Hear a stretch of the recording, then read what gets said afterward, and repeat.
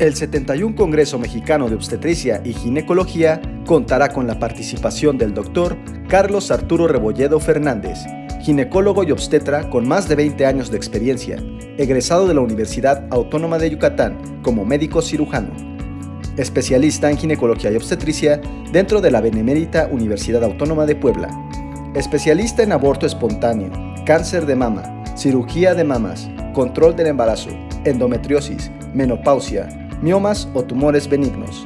Presentará la conferencia PE, Factor de Riesgo para Enfermedades Cardiovasculares, el martes 31 de octubre a las 12 horas en los salones Olmeca 2 y 3.